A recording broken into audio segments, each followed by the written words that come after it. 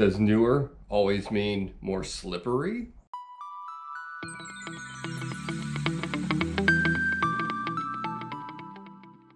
Welcome back everyone. I thought it'd be fun to dive into the aerodynamics of all Corvettes from C1 to C8.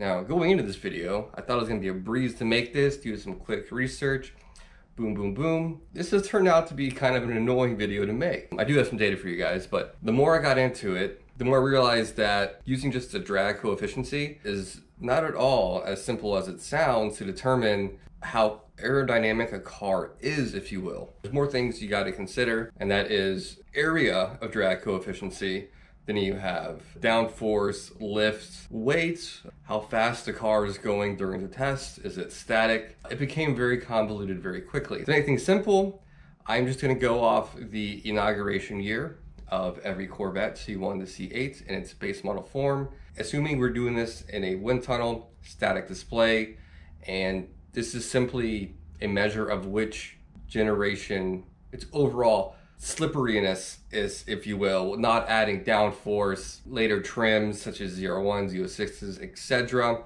But yeah, it's gonna be every generation in their base form, that very basic design, how slippery it is compared to other generations. Because if not, this could get a very convoluted and this will turn into a two hour long video. So I'm only gonna be looking at drag coefficient for the base model for its inauguration year for that generation. Wow, that was really clunky and a huge ugly word salad, but I hope that makes sense. So I'm gonna go ahead and start, obviously there's eight generations to choose from. Start with the least slippery, if you will, Corvette to the most slippery Corvette. And some of these kind of surprised me, and I think you'll find it very interesting. So let's go ahead and get into it. All right, so probably no surprise, the C1 Corvette, as far as I could tell, has the worst coefficient of drag of all the Corvettes. This is the only one I had to get a ballpark figure. Unfortunately, back in the 50s, they didn't really have these kinds of tests. If they did, they measured them much differently.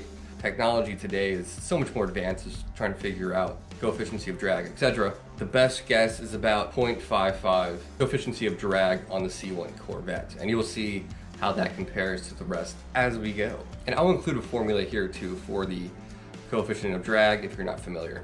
And interestingly enough though, uh, the C1 Corvette being the smallest of all the Corvettes has the largest area up front. But the rear end does slope kind of bit and it's not a terrible drag coefficient, but it's not great by any means, by today's standards if you will. What I'm saying is that it has the largest area of drag coefficient of all the ones tested. But that's not really something we're gonna look at. Not to confuse anyone. All right, number seven. That would be the C2 Corvette. Now this one might look the sleekest of all the Corvettes made, but it's not. It's not that slippery through the air, unfortunately. This has a coefficient of drag of about 0.49. That number is pretty accurate from a few sources I got on different forums. This car was, was also kind of hard to get a good number on, but this is a very close number from what I can tell. In case you're wondering, this car was able to reduce drag and rear lift quite a bit from the C1 platform, which it did a pretty good job of. However, this car does become unstable of speeds over about 140. Zora himself, the grandfather of Corvettes, stated that this is kind of like a bad airplane. Kind of wants to take off, if you will, not fly, but wants to kind of fly on the ground. Not very stable above 140. So if you own a C2, you can give it more of a cruiser than a um, all-out speeder. All right, number six. And this is the C3. The C3 was kind of the most dynamic to get a good reading on because this car has such a long run and they changed the front ends and the rear ends quite a bit. Its drag number changed quite a bit, but again, we're gonna focus on its inauguration year. The C3 a sporting a coefficient of drag of 0.44, and this had a huge disadvantage with, with its pop-up headlights of all the ones in this. It added something like another 0.5, almost as bad as the C1 when the headlights are up, so not a great design. It looks very sleek, and it did improve by the late 70s and the early 80s. It did get a little better, but for uniformity, going off its inaugural year. So there you go. All right, number five, that would be the C4 Corvette. Now, by this time, tunnel testing was, was becoming kind of mainstream for any kind of sports car, and they started taking the Corvette very seriously uh, amongst its European rivals, if you will, and they were able to reduce the coefficient of drag by about 0.10, which is quite a big step from the C3 to the C4. So the C4 is coming in right at 0.34 coefficient of drag. And they did a lot of testing and they, they moved the steering rack itself really forward on the C4 so they could get the engine much lower back and that greatly helped uh, with the design, getting that roof line a little lower. Uh, the C4 does have a lot large area, if you will, but its overall design is very slippery uh, compared to its um, predecessors. And again, like the C2 and C3, when the headlights were up, it did affect the amount of drag quite a bit. But I'm just I'm just assuming all these cars have the headlights down for comparison purposes. All right, number five. This one might surprise you, it kind of surprised me, and that would be the brand new C8 Corvette Stingray with a coefficient of drag of 0.32. It is still a very slippery car, uh, but it does borrow a lot of cues from the Ferrari 488 if you can't tell. Now in mid-engine design, you're kind of reduced to only so many different design choices you can make, obviously. And I suspect as the trims get more aggressive, the drag is gonna get greater, but your, your downforce is gonna increase. So it's, it's kind of a give and take. But yeah, that kind of surprised me that the uh, C8's not as slippery as uh, some of its younger siblings. Interesting. Number six, the C7 Corvette, coming in at 0.30 coefficient of drag. This car by no means is a brick through the air.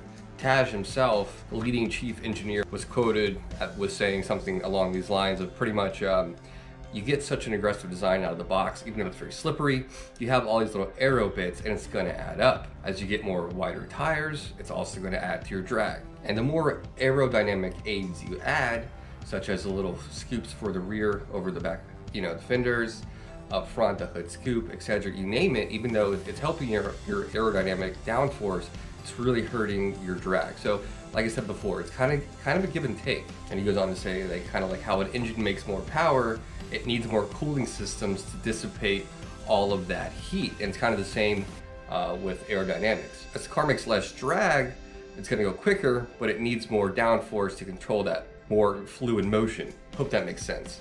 I really digged up that quote, but something to that effect. Number seven, the C6 Corvette. And this comes in at 0.29 coefficient of drag. Now, I found so many conflicting articles, forums, bulletins compared to the C5, which one was actually the more slippery Corvette. It kind of is a toss up. I'm biased to C5s, but they're very close. Very, very close. The C5 does have more of a frontal area, so if you calculate uh, drag coefficient with area, the C6 is going to win. Overall, most slipperiness, the C5 does seem to be a little more slippery. Now, however, in its static state, both C4 and C5, the C5 ekes out just a little bit, but you put the headlights up in the C5 and the C6 is going to destroy it. So there's that. So it depends what kind of driving you're doing. But if you take a C5 and you put static headlights on it, it's really gonna help your aerodynamics, especially at night. All right, number eight, C5 Corvette, like you see behind me. The C5 base model comes in with a coefficient drag of 0.29, where uh, the C6 was like a 0.297, this was like a 0.296. So damn close. However, in the Z06 form, it's actually worse drag because of the notch back. The hatchback really helps it slip through the air. This little notch back here, not so much. And the Z06 or F FRC has a drag coefficient of 0.31. So yeah, in this form, you're gonna get a little worse gas mileage. You're gonna max out top end on FRC before you will on a coupe. So that's kind of interesting.